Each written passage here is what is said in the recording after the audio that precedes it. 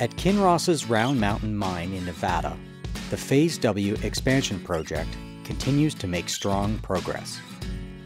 Phase W is expected to extend mining by five years and increase life of mine production by 1.5 million gold ounces at one of our best performing operations.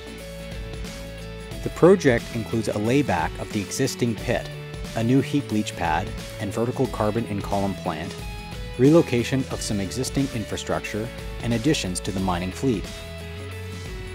Pre-stripping for the layback continues to advance well, and Phase W ore is now being placed on the new heap leach pad. The new pad was completed in Q1 2019. It is 9 million square feet large, designed for 65 million tons of ore, stacked up to a height of 250 feet. Commissioning of the processing circuit has now commenced, ahead of schedule. Initial solution application has begun to build heap leach solution grade in advance of the vertical carbon in column plant completion. The vertical carbon in column plant is now 80% complete.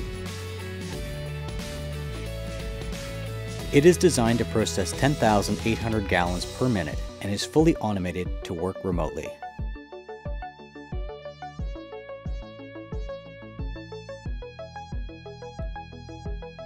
Construction of the project infrastructure is proceeding well. The primary and secondary steel for the new truck shop is now complete. The almost 40,000 square foot truck shop has 10 bays and is designed to accommodate a 793F truck with the bed up.